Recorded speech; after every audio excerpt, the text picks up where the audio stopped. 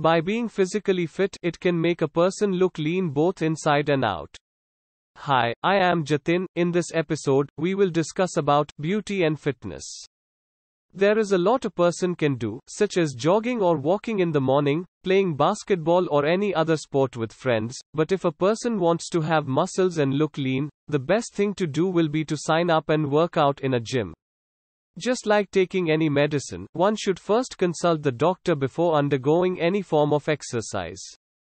Physical exercise is beneficial because it helps maintain and improve one's health from a variety of diseases and premature death. It also makes a person feel happier and increases one's self esteem, preventing one from falling into depression or anxiety.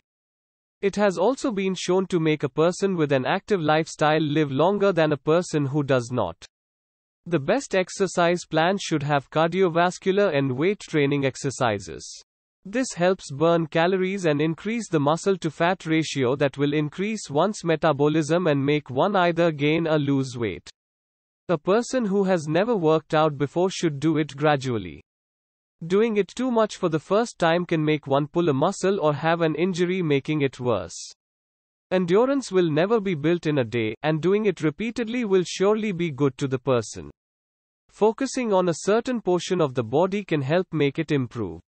A good example is going to the gym and doing a workout more often in a specific area, such as the ABS can give one a chest pack.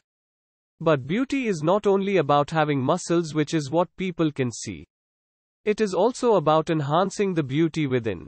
Here are some things you can do every day to stay beautiful and healthy. Reading books and other reading material more often keeps the mind sharp, just like working out keeps the body in shape. Work, no matter what kind it is, produces stress.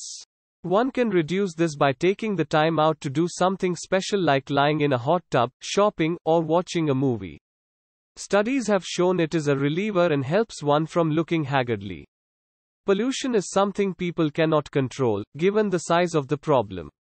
When one goes out, it is best to put some form of protection such as beauty products that contain antioxidants that protect the skin from damage. There are also other beauty products available, and choosing the right one with the help of a dermatologist can help the person. Another way to stay healthy is to give up some vices. Most people smoke and drink.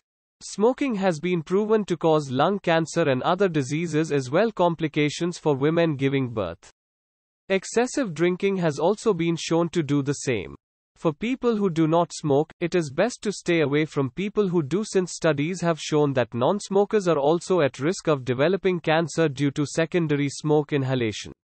Lastly, it is best to always start the day with a positive outlook.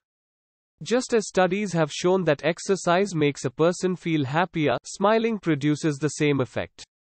A smile can do a lot, and it is contagious in a positive sense. It brightens the day of not only one but others as well. Thanks for watching the video. Hope you had fun listening to the podcast. Do not forget to subscribe to keep listening to these kinds of life changing podcasts. You can inspire us to make this kind of video by giving a thumb up or feedback in the comments. Have a good day.